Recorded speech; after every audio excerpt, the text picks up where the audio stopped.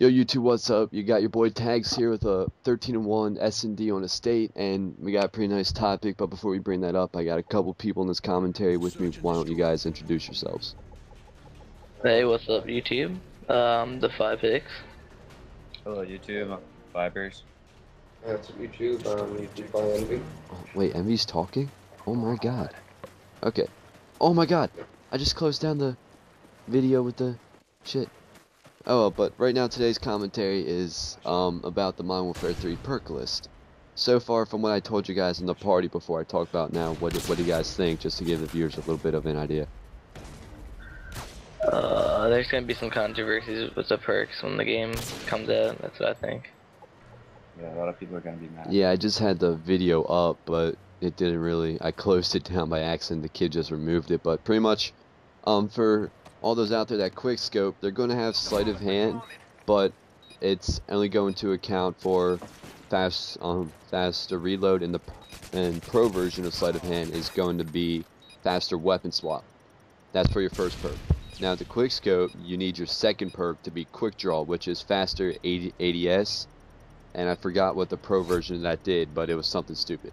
Pretty much, they took every perk and they and like they split them up. Like they split the pro versions from Modern Warfare 2, and they combined them um, with the Black Ops standard versions, and they did it vice like vice versa. Overkill is back. It's going to account for still your two primary weapons, but your secondary primary weapon will have two attachments on it.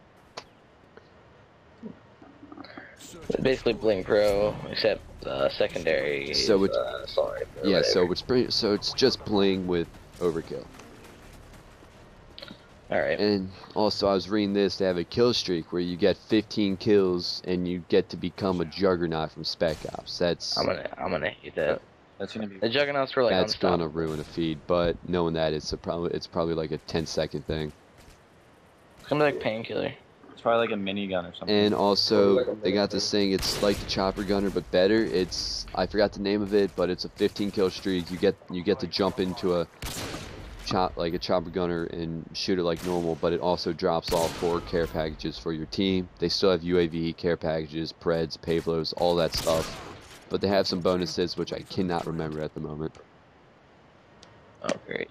That's pretty cool. and they s- stopping power is out. There's no thing to give you extra damage. Scavengers back. Dude. Ninja and pretty much Ninja and Ninja Pro are split. I mean, Ninja is still the silence when walking, and Pro is no is no fall damage. So it's pretty much like Commando Pro, but you have Ninja. Basically, with all the perks though, it's basically just perks from all the Call of Duties mixed together. The pros and the not pros, like all mixed together for different. Yeah, and I also saw this kill streak where you get 18 kills and everyone on your team gets a Juggernaut perk for a temporary portion of the game, which is going to be That's gonna be annoying. There's no way anyone's gonna get a feed of that. yeah. It seems like Modern Warfare 3 is going to be hard as hell. Well, then again, this will make feeds more rare, so it will bring back the um rarity of feeds back to a normal standard. We'll make montages harder to make. It's only gonna be hard if, unless, uh, it's only gonna be hard if it's like Modern Warfare 3 where kill streaks carry on your kill streak and like Black Ops where you have to end the minute you kill.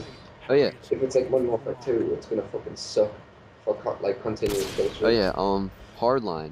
No, um, it wasn't Hardline. Oh yeah.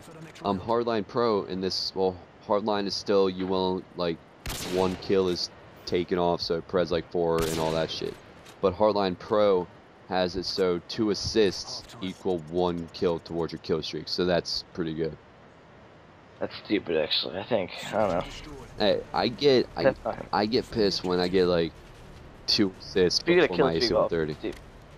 Yeah, but then in hardcore, people are just gonna use that, and when you get stun assists, you're just gonna fucking bounce up the kills, like you're just gonna rack them up I so did not fast think if you just stun them. Oh, I know that Envy, with your standards, it's gonna be hard as hell to get fees in this game.